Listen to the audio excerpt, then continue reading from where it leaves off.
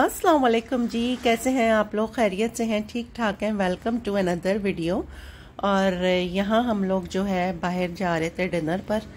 और ये मैं अपनी क्लिप बना रही थी एक दो महीने का। चलें जी, बाहर निकल रहे हैं, तैयार हुए हैं तो थोड़ा सा तैयार किया। वैसे क्लिपस्टिक ही लगाई थी इयर पहन लिए थे तो मैंने कहा, चलें जी, फिर ये वीडियो बना लेते हैं। खैर, हम बाहर निकले। जाने का था, आपको पता है, आजकल कहीं बैठ के खाने वाने का तो इतना वो होता नहीं है कि जी जो खाना बचा था वो हमने पार्सल करा लिया था।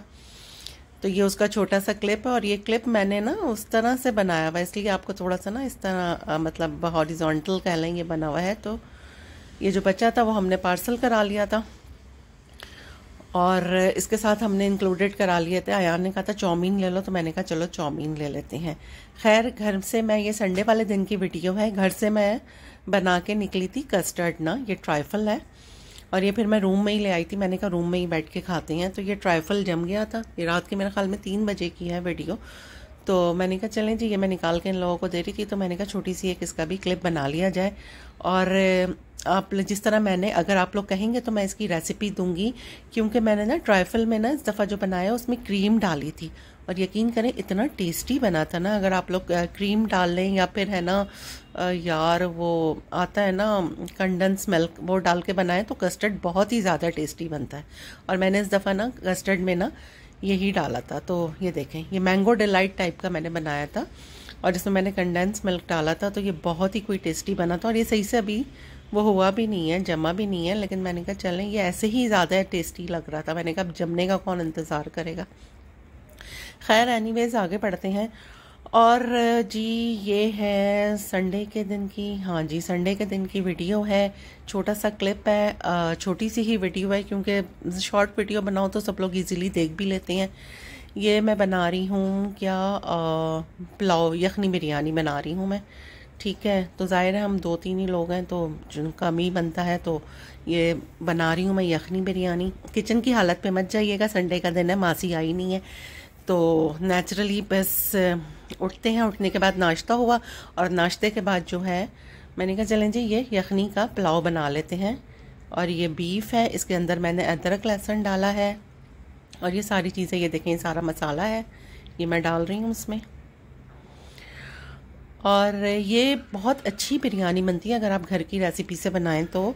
पहले मैं क्या करती थी, सिंधी बिरयानी ये सब शान के पैकेट्स वगैरह से बनाती थी, लेकिन अगर आपको डालना है तो उसमें थोड़ा सा आप पुलाव मसाला नेशनल का डाल दें बीच में, लेकिन सारा घर का मसाला डालें कि इतना टेस्टी बनेगा ना।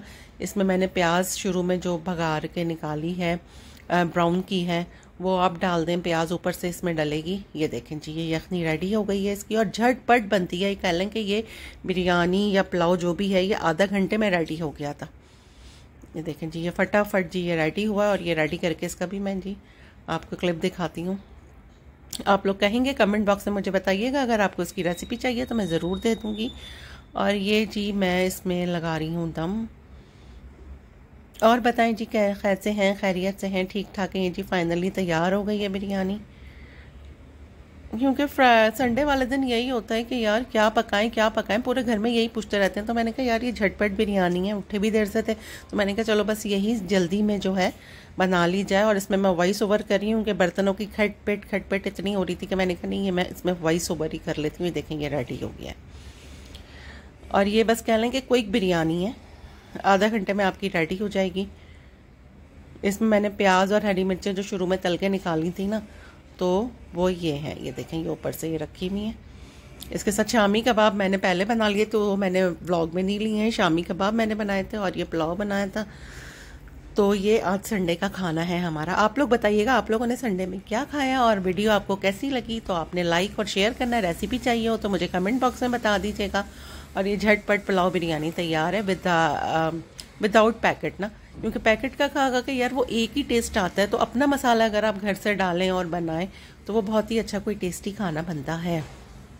और संडे वाले दिन यही होता है कि जी, देर से सब उठते हैं, और फिर ये होता है सब एक दूसरे से पूछ रहे होते हैं, भाई, क्या पकेगा? क्या खाना है? क्या करना है?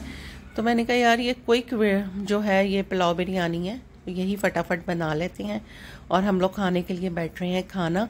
और इंशाल्लाह मिलते हैं आप लोगों से बहुत जल्द एक नई वीडियो में। जब तक के लिए अल्लाह हाफिज़।